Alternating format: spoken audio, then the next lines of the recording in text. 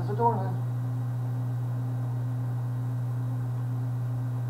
You're a fuck. Put that gun away before you get yourself hurt. You wanna fucking kiss me or something? Hey!